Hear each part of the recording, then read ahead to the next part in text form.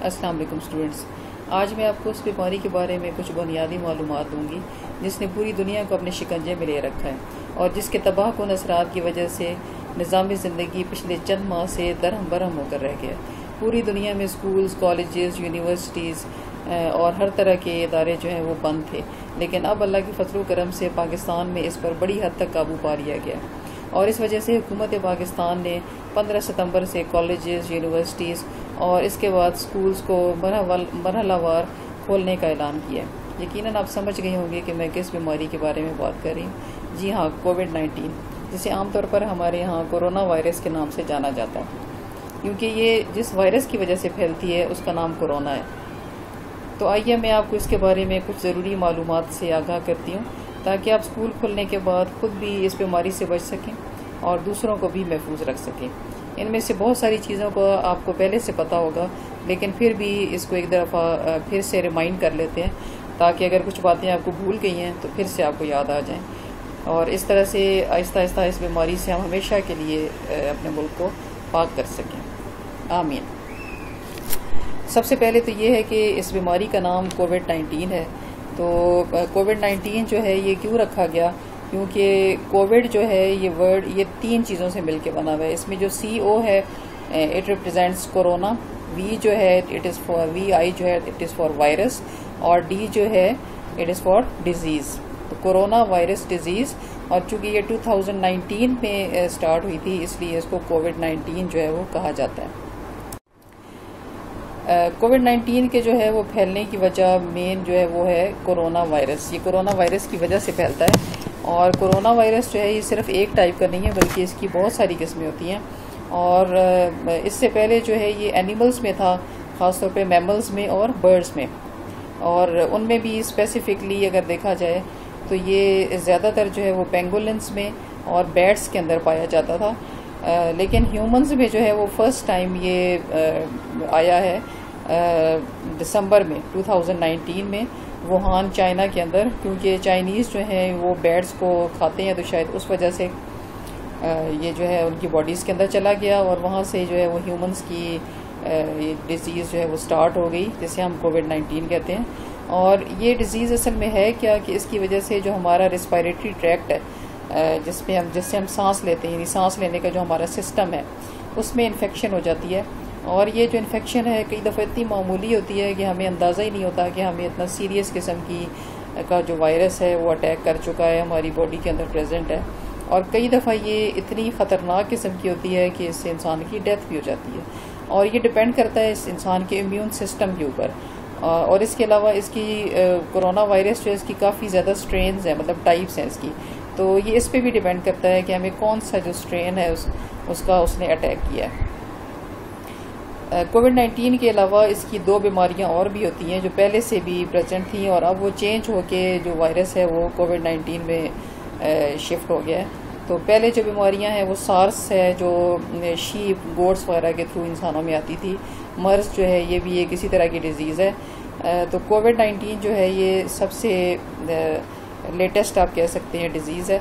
और ये ख़तरनाक क्यों है अभी तक? क्योंकि अभी तक इसका की कोई आ, कोई इसकी ट्रीटमेंट अभी तक नहीं है कोई वैक्सीन अभी तक फ़िलहाल नहीं बन सकी है इसके लिए। और चूँकि जो वायरस है ये खुद अपनी शेप्स को चेंज करता रहता है। जो कोरोना वायरस है ये आरएनए वायरस है। तो वो जो आरएनए इसके अंदर प्रेजेंट है उसको ये चेंज करता रहता है। तो इस वजह से इसकी जो मेडिसिन है वो बनाना बहुत ज़्यादा मुश्किल होती है।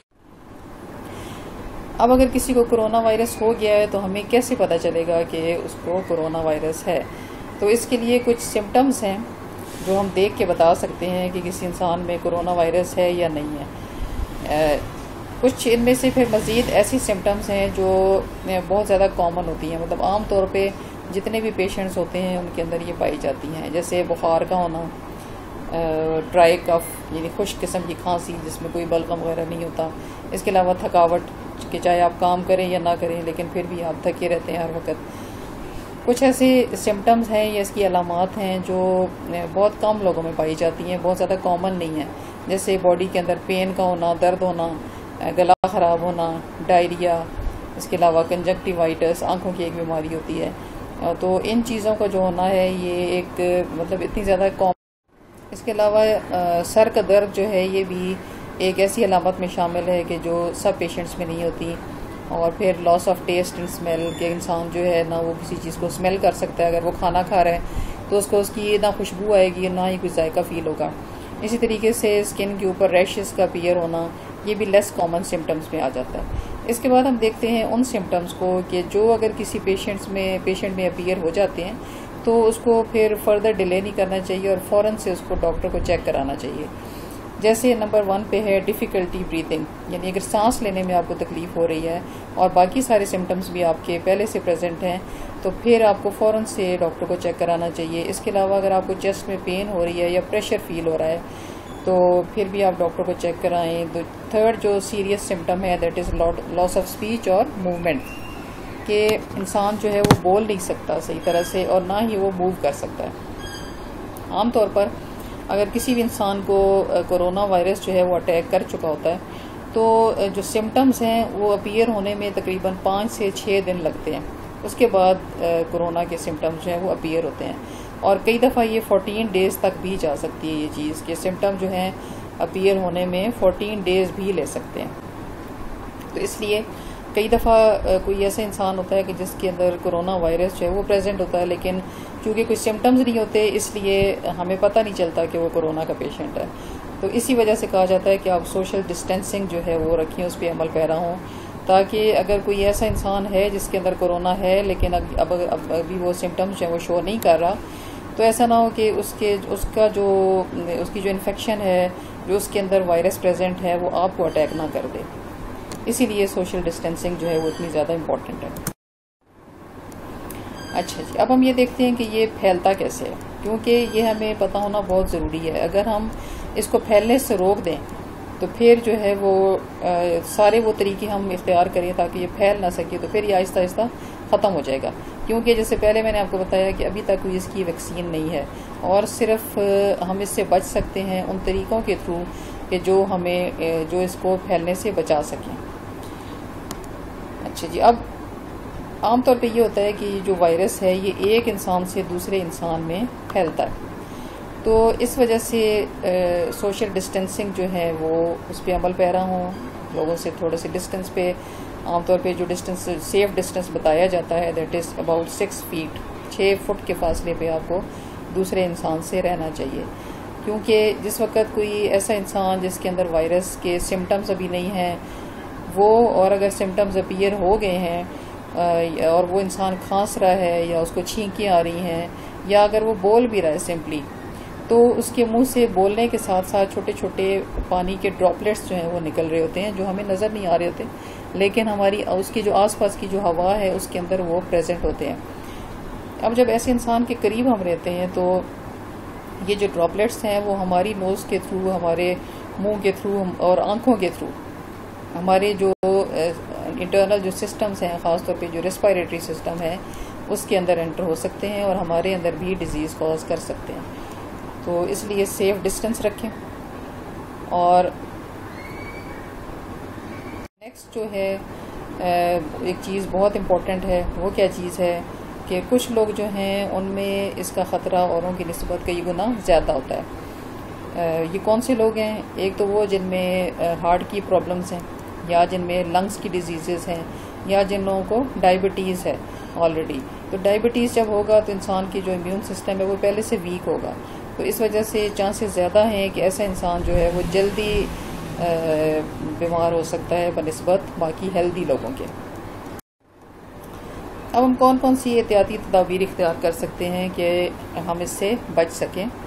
तो इनके, इन प्रिकॉशंस में सबसे पहले क्या है कि अपने हाथों को धोएँ। और अच्छी तरीके से साबुन से और पानी से धोएँ और तकरीबन 20 सेकंड तक। ये आप, ये चीज़ जो है, ये अक्सर इन दिनों में आप सुनते रहते होंगे, लेकिन एक दफ़ा फिर से रिमाइंड करें तक कि जब स्कूल जाएँ तो वहाँ पे आप इस चीज़ का ख्याल रखें और जब भी आप किसी चीज़ को हाथ लगाएँ और तो उसके बाद आप अपने हाथों को धो लें। इनमें कुछ चीज़ें जो हैं, वो ख़ास तौर पे ऐसी हैं कि जब उन चीज़ों, जब वो काम आप करें तो उसके बाद ख़ास तौर पे स्पेशली आप अपने हाथों को धोएँ। जैसे खाना खाने के बाद या पहले और अपने मुँह को हाथ लगाने से पहले, अगर आप कहीं जाके आप बैठे हैं कुछ देर के लिए, आपने किसी चीज़ को हाथ लगा दिया तो उसके बाद फ़ौर से हाथ धोएँ। किसी पब्लिक प्लेस पे आप गए हैं तो उसके बाद घर जैसे ही आए वापस तो फ़ौर से अपने हाथों को धो लें। अगर आपने अपनी नाक साफ़ की है, या आपको खांसी आई है, या छींक आई है, उस सूरत में भी अपने हाथों को धोना चाहिए, क्योंकि अगर वायरस है तो वो आपके हाथों पे लग सकता है, और इस तरीके से फर्दर वो फैल सकता है। तो वैसे तो एहतियात ही करनी चाहिए कि जब भी आपको छींक आए या खांसी वगैरह आए तो आप हाथ रखने के बजाय अपनी कोनी को अपने नाक या मुँह के ऊपर रखें। ये ज़्यादा बेहतर होगा बनस्बत हाथ रखने के। इसके अलावा अगर आपने मास्क लगाया हुआ है तो मास्क को अगर आप उतारते हैं तो उसके बाद भी आप अपने हाथों को धोएँ।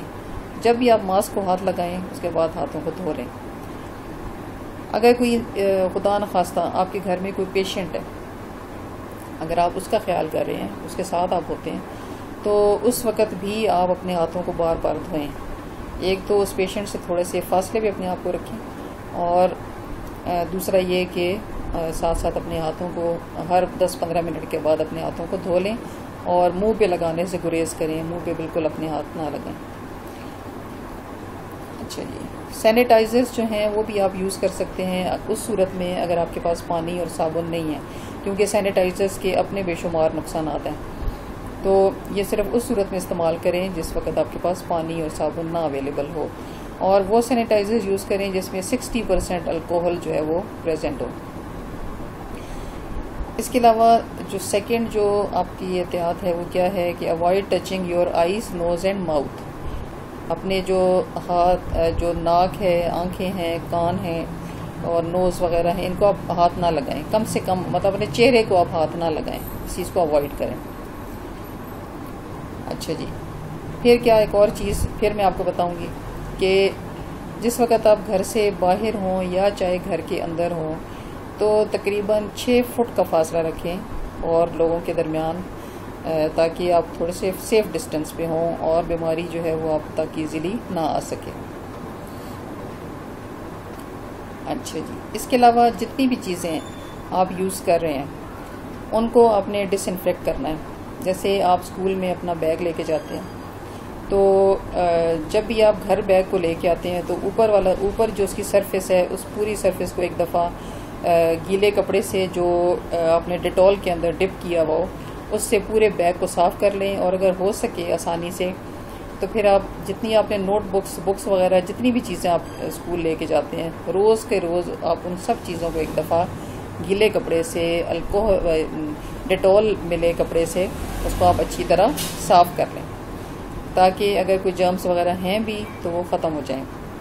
और आ, कोशिश करें कि अपना यूनिफॉर्म जो है उसको रोज़ आप साफ़ रखें। अगर आप मास्क पहन रहे हैं तो आ, मास्क जो है वो अगर कपड़े का आप यूज़ कर रहे हैं तब भी आप उसको एक दिन धो दें। और एक दिन जो पहन के जाएँ अगले दिन उसको ना पहने अगले दिन नया मास्क पहने। और उसको बार बार टच भी ना करें आप स्कूल में।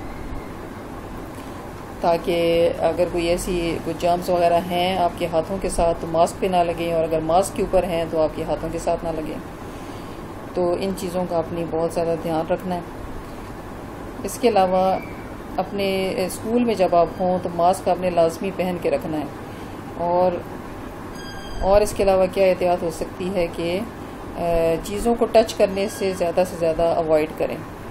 कि आप कोशिश करें कि जिन चीज़ों को टच करना ज़रूरी है सिर्फ़ उनको टच करें।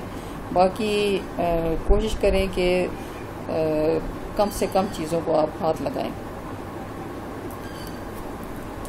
अच्छा जी अब इन सब एहतियातों के बावजूद भी अगर आपको कुछ भी थोड़े बहुत भी सिम्टम्स अपने अंदर फील होते हैं जैसे अगर आपको लगता है कि आपका गला ख़राब हो रहा है या आपको टेम्परेचर फील होता है या आप थकावट फील होती है मतलब जितने भी सिम्टम्स पीछे मैंने आपको बताए, उनमें से कुछ भी आपको फील होता है। तो फ़ौर से जो है वो आपके कान खड़े होने चाहिए कि खुदा न खास्ता आपके अंदर कोई ऐसा प्रॉब्लम तो नहीं है।